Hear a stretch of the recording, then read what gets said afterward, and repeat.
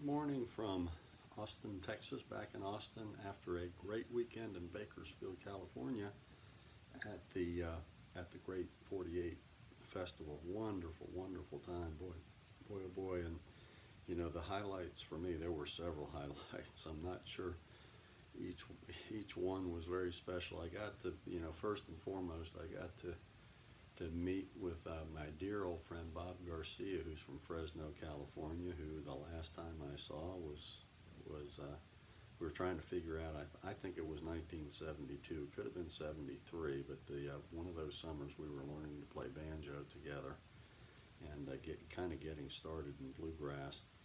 And uh, and it's funny, we're both mandolin players now. Anyway, Bob plays with these band leader for the band uh, Grass Kickers out of Fresno, California area and he's playing mandolin, wonderful mandolin player, and, and the band uh, Kickers is is uh, is very good, aptly named. Um, so that was very special seeing Bob, and I also got to meet Hal Horn. And uh, as Bob and I were talking about me coming out to Bakersfield to, to go to the Great 48, uh, he had sent Bob sent me a copy of a uh, tune that Hal had been working on that had been unnamed, and uh, and it wonderful tune. I fell in love with it first the first time I heard it, and uh, had to work it out on the mandolin.